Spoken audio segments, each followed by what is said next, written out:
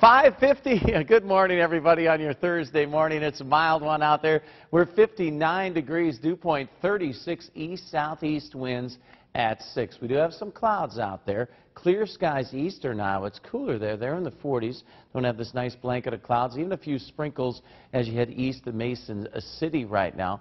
Maybe around Charles City, a couple sprinkles. And there's rain in Nebraska and snow in Wyoming and back in through uh, Utah. Here's Futurecast. Kind of a mix of sun and clouds today. The farther east you are, the better chance of more sunshine.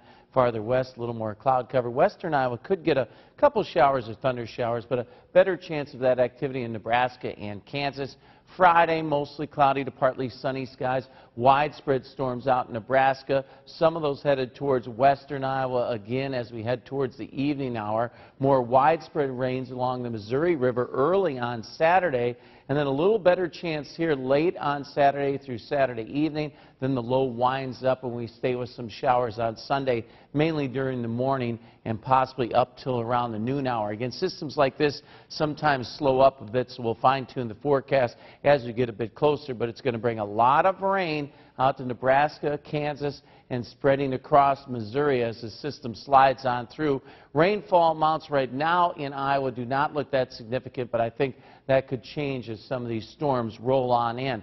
Along with the rain here, there's going to be heavy snow out west if you're traveling that way from Casper, Wyoming, down into Rocky Mountain National Park, the Uintas in Utah, and back and through the Wind River Range in Wyoming. Some locations in the higher elevations could get a couple feet of April snow.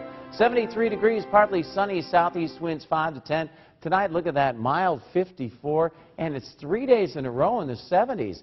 Friday, 75. Saturday, 71. Again, at least for now, it's looking like the better chances of rain late on Saturday and early on Sunday. Sunday, cooler, 65. And then much cooler air filters in, only 50s next week and some lows in the 30s, maybe near freezing as you head out of town Tuesday and Wednesday, especially up in northern Iowa.